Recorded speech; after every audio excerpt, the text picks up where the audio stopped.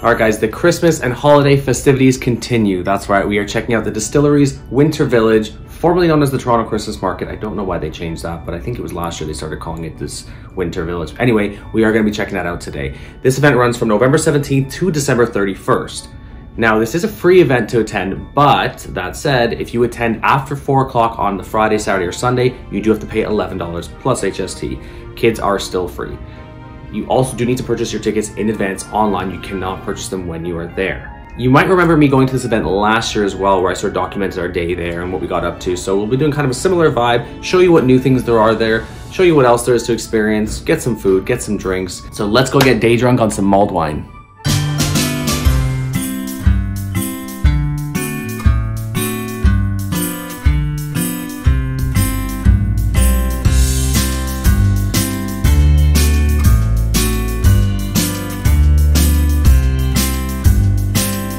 So we finally made it in. The ticket process is really, really bad. So we tried so many times, it kept crashing and everything. It was a really, really bad system. Anyway, um, it actually ended up charging for uh, one of our cards when it probably shouldn't have charged. So we paid for like four tickets, sorry, eight tickets, but we should only have four. So yeah, a bit of a shit show, but we're working on it anyway.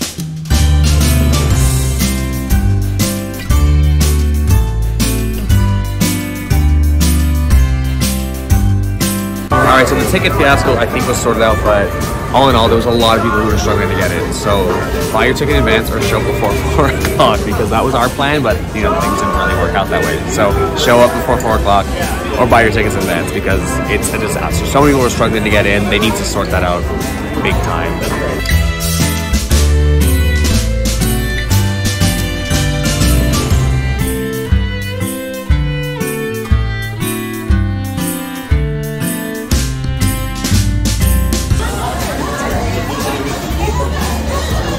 Got our first first of many mulled wines for tonight. This was about ten dollars, so not too bad. They had a bunch of different hot drinks and everything, so I'm sure there'll be many uh, many more to come.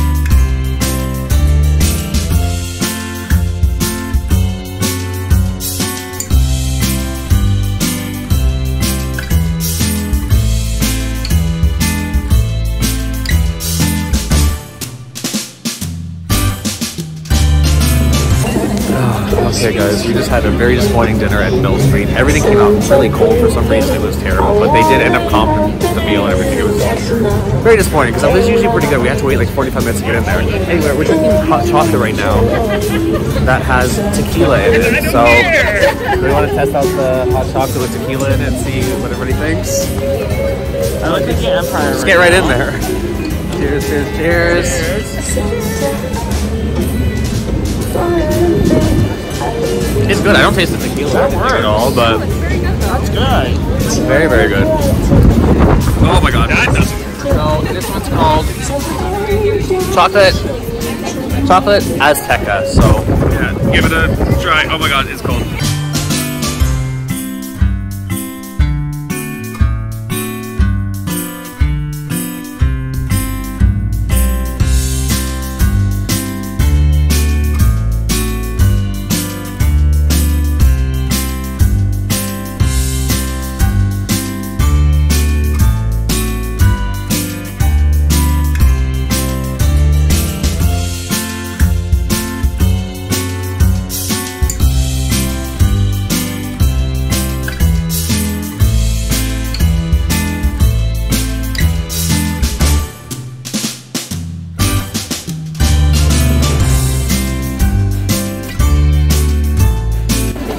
In front of this Ontario Springwater Sake Company. We have hot apple cider sake.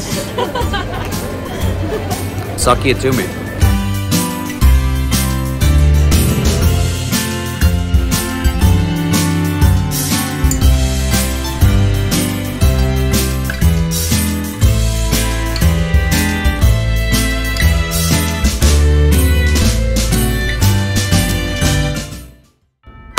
So that is a wrap on, I was going to call it the Toronto Christmas Market. Sorry, the Distillery Winter Village. Um, let's talk about that for a second because it kind of threw me off a little bit. So for as long as I can remember, it's been called the Toronto Christmas Market. And I mean, I even hear people on the news when they're referring to it, they still call it the Christmas Market. We changed it to Winter Village, and I first noticed the change actually last year, um, and I just assumed this was because of the pandemic and everything. Because the year before, they weren't actually running the the Christmas market. Um, 2019, I think, was the last official year. 2020, they didn't do it. 2021 they brought it back but they called it the winter village now i assumed that this was because it was sort of like a scaled down version of the typical toronto christmas market that's how i sort of imagined it because of this name change I figured once things started to get back to normal, we'd go back to referring to it as a Christmas market because, I mean, that's what it is. It's a Christmas market.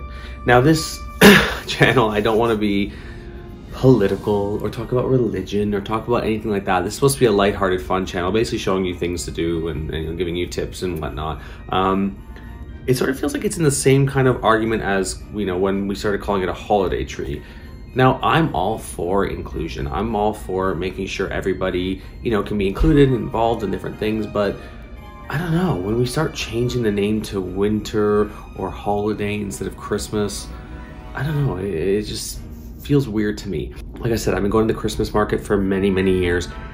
You see people from all walks of life there. I can't say I've ever seen or heard of anybody feeling excluded or not wanting to be a part of it because it was called a Christmas market um, if they didn't celebrate Christmas. I don't know. I, again, I don't want to open up that can of worms because I'm sure I know there's people who feel really strongly and passionate about you know when we start to take the the Christmas out of Christmas sort of thing. Um, I'm not one of those people. As I said, I'm all for inclusion, but I just find it funny when we start changing names of things. And like I said, you know, it's it's a Christmas market and calling it a winter village I don't think it makes it any less Christmassy when you've got a giant Christmas tree in the middle, or maybe they call it a holiday tree now. Who knows? Anyway, let's get past that though. I don't really have too much more to cover because I do try and give you a little bit of information while I'm actually at the event. So I don't have too, too much more to mention. Um, we made a couple of rookie mistakes. So first of all, our plan was to be there during the day.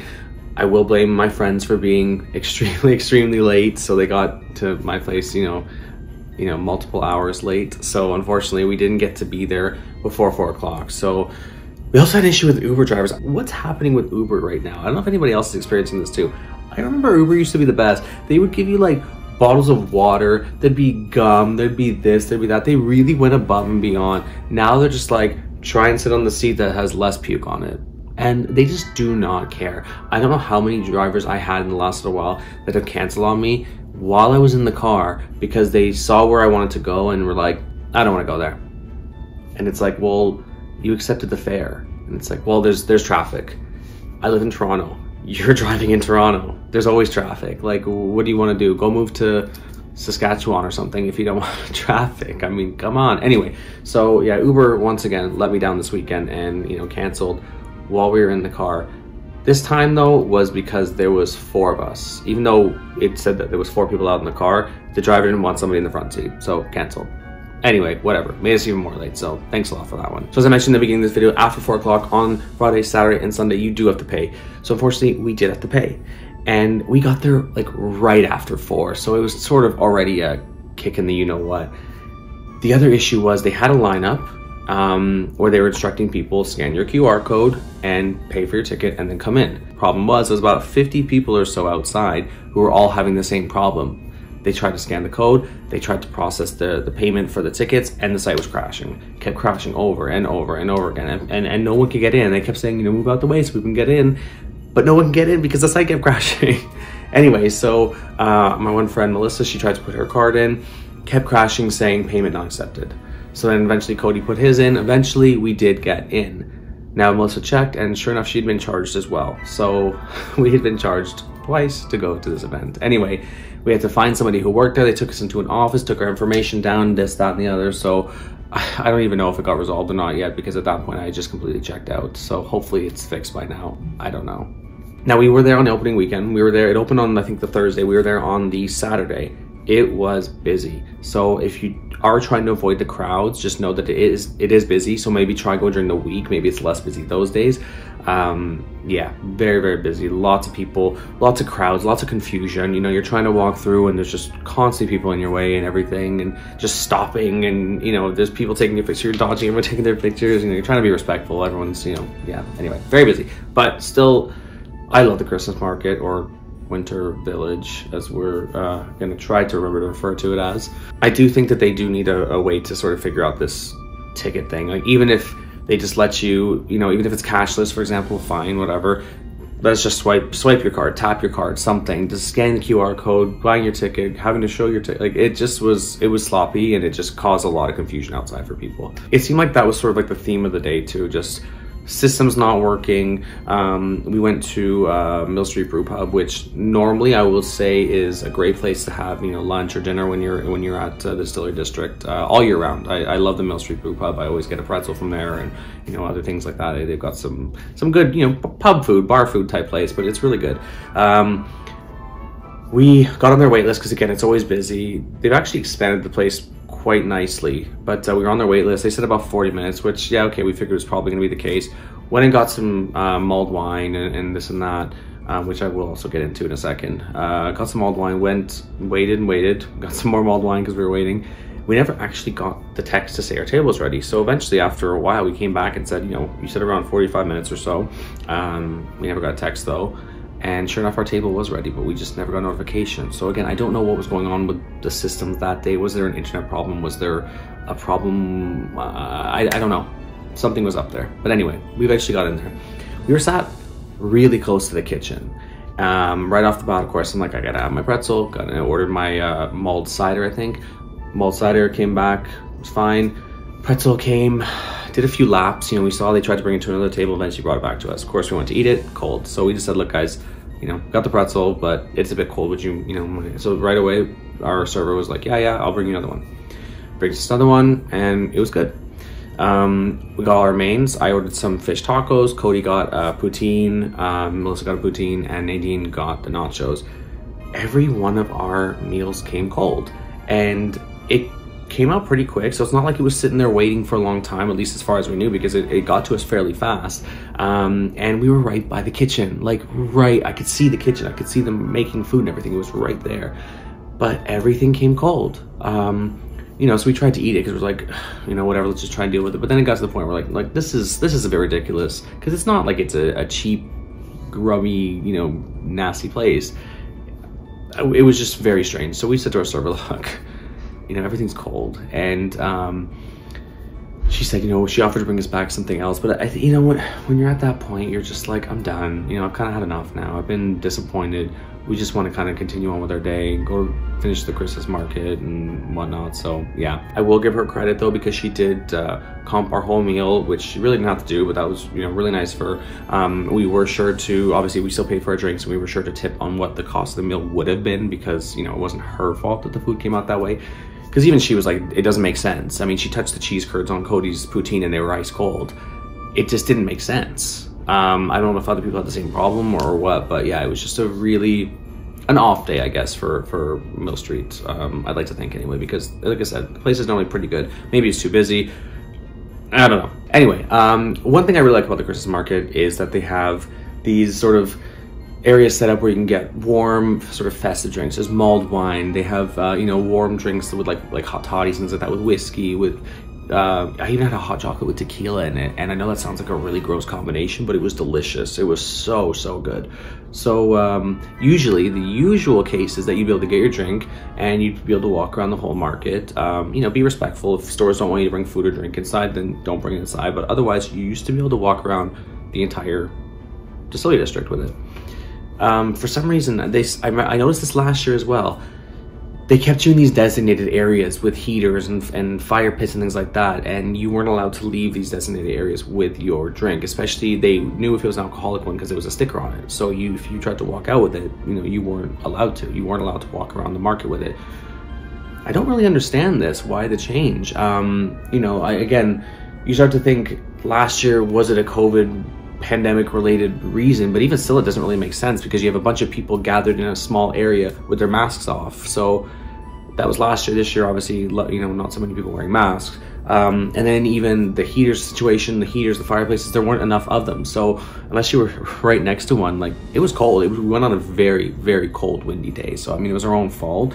But yeah, the way it was set up, I don't know. I didn't really like it. I I miss the days when you could just sort of walk around with your your drinks because I, I don't really understand why they changed this even. You know, like what do they think's gonna happen? Like if you're, am I gonna drink mulled wine and get really rowdy walking around the market? Because I could do that anyway. I could just drink it in that little designated area and then go be rowdy as I walk around. I, I don't know. It, it just it doesn't make sense to me why they made that change, but they did, and I guess take it or leave it. I know I said in the beginning I didn't have too much to add, and I guess that's sort of went out the window. but all in all, we still had a great day. Um, we had a great day. The company was good, you know, so you know that that always helps as well. But we just had a great day. Um, I love the I'm still gonna call it the Christmas market because that's just sort of what I'm used to referring to it as. Um, the Winter Village. Um, I do love it. I think it's a great Christmassy holiday event to go to. It's sort of an annual tradition for me. I've been going for, geez, I don't even know how many years. At least seven years now, I would say. Minus 2020, obviously. And it's just one of those events that I just really, really enjoy going to. I look forward to it every year. I, I love the Distillery District. It's a really cool place, very historic. You know, I enjoy the the architecture. You know, you got the cobblestone sort of floors and everything. Um, yeah, I just really enjoy it. I think it's just it gets you sort of in that Christmas spirit, in that Christmas mood, and that's uh, yeah, I think it's it's great. Couple recommendations: go before four o'clock. Make sure you go before four o'clock. If you don't, then you know maybe try and buy your ticket in advance just to make sure it actually does go through before you get there. Just because it is going to be a bit of a you know what show, so that would be uh, one recommendation. Another recommendation would be to go early anyway. Go earlier in the season too. I always recommend this with my videos. Whenever it's sort of like a seasonal event, like, you know, even with some of my Halloween videos, you may have remembered me mentioning, you know, Halloween and things like that. Go earlier in the season. The closer you get to whatever holiday it is, I find the busier it gets. So, for example, with this particular event, it runs until New Year's Eve. So I find the closer you get to Christmas, it's gonna get really, really, really busy. Um, maybe after Christmas, it might sort of calm down a little bit, but it's probably still gonna be pretty busy because you know kids are off school, people are off work, things like that. So it probably still would be quite busy. So going earlier in the season probably will help you not to sort of hit those crowds so much. But I mean, even us, we went on the Saturday, the first Saturday it was open and it was busy. Granted, opening weekend, maybe that was one reason why, but yeah, it was busy. Another word of advice, dress weather appropriate. check the weather, check the weather, check the weather it was so cold for us. Um, you know, I, I was wearing a winter jacket, I had an earmuff scarf. Um, I was still really cold because I didn't have gloves on because I'm an idiot. Um, so I was cold. Uh, it was it was quite cold and it was really windy. And when you get down certain certain pathways, it's just like a wind tunnel. So you're gonna get you're gonna feel that chill. You can go inside. There's lots of restaurants and stores and things like that that you can go into if you need to warm up. Um, you know, get yourself a warm drink or something like that. So there are some options like that to kind of help combat that coldness. But uh, yeah, if you have a sort of an op fairly open schedule, keep an eye on the weather as well and try and go on a better day because even last year we went and it snowed like crazy, it was miserable. And I mean, it's gonna impact your sort of overall time and experience if the weather's not cooperating. Now, is this spot right for you? To me, this event has something for a bit of everybody, really. You've got some stores there, especially some unique stores there. Um, I think one of them's called Bergo, I believe. I've gotten some great stuff from there for my place. Um, so yeah, you have a bit of shopping for people who are trying to do some shopping, get some different gifts for people. You've got lots of different restaurants and dining options and, and places to get a snack even. So if you're, you know, a foodie, you're looking for something to eat, you've got some great options there. You like sampling the drinks, you've got some great options.